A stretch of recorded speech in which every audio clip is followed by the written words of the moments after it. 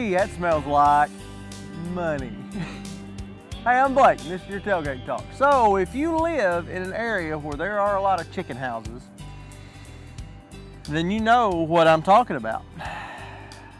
This fan is running behind me. It just kicked on, and I'm getting a pretty good woof of it right now.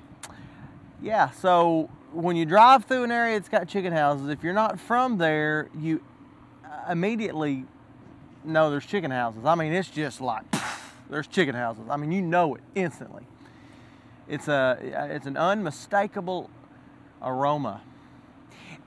And if you're not in that if you're not in the chicken business, well, that's awful. If you are in the chicken business, you'll say kind of what I just said. Now we're not.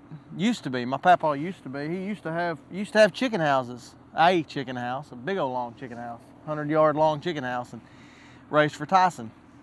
And uh, that's what he would say when you would smell the chicken house. He would say, "Ooh, that smells like money." Well, I'm sitting right next to my cousin Johnny Trafford's houses, and he's got several. He's got, I think, one less than he used to, or actually three or four less than he used to. Uh, but he's still got he's still got a few, and uh, there's a lot of chickens in there. and uh, just in case you don't know, um, when you go to KFC or Popeyes or you know wherever you prefer to get your chicken from, it all starts here, which is fine. I mean that's the process of farming. I mean it starts somewhere and then it ends up on your plate. It's the way it works. It's just the way it works. I was going through town the other day and a a truckload of chickens that had just been caught from uh, a house somewhere was on its way to the next step in the process. So that's just the way it works. And we understand that. But one of the things we don't like to think about is the next step in our life. But it's part of life.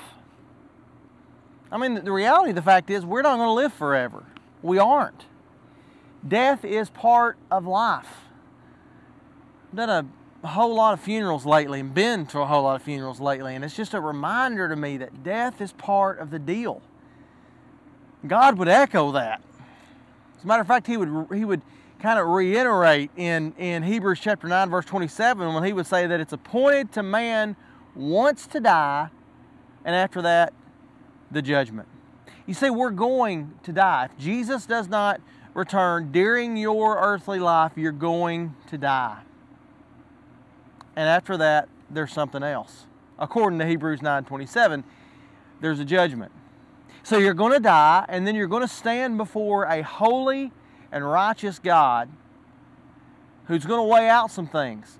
Now, the world would tell you, society would tell you, this Hollywood idea of judgment is that God will put your good deeds on a scale and your bad deeds on a scale. And if your good deeds outweigh your bad deeds, then He'll let you into heaven. But listen, that is not at all what the Bible would teach us.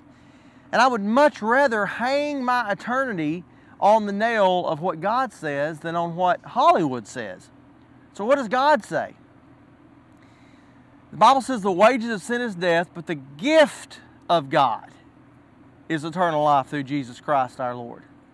The Bible says that whoever calls on the name of the Lord will be saved. The Bible says that it's by grace that we're saved through faith, that not of ourselves, it's the gift of God, not of works, so no one can boast. What does that mean? It means that there's not some weird scale in heaven that God's going to put all your good stuff on and your bad stuff on, and you've got to hope that it outweighs the bad.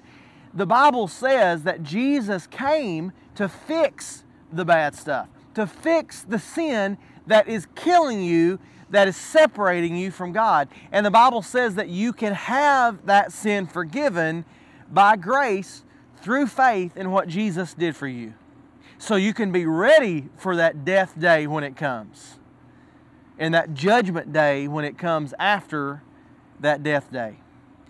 You see, death day is coming for us all, and judgment day is coming for us all after that. Are you ready? And you can be because of what Jesus did for you so long ago. right now, today, wherever you are, wherever you're watching this tailgate talk from, you can cry out to God and say, God, I know I'm a sinner. I know you died for me. I know you were buried for me. I know you were resurrected for me. And I ask you to forgive me of my sin and be my Savior. Listen, we would love to help you start growing in your new walk with Jesus if you've just made that decision. Reach out to us through the Lifeword page. Beautiful thing about the Lifeword ministry is that now there are next steps that Lifeword can help you through in this new journey of discipleship. Reach out to us through this Lifeword page so we can help you on that journey to being a growing disciple of Jesus. We're all going to die. Are you ready for that day? Listen, thank you so much for joining me today on the tailgate. It's an honor that you would choose to give me a few minutes, choose to give me a few minutes of your time today. Do me a favor and click the share button right below this video so others might take the time to watch this video as well and know more about what Lifeword does. Hey, until next time, I'm going to save you a seat right here on the tailgate. You never know where we're going to pull up and drop the tailgate and have a chat. Until then, I love you. Have a great week, and we'll see you next time on a Tailgate Talk.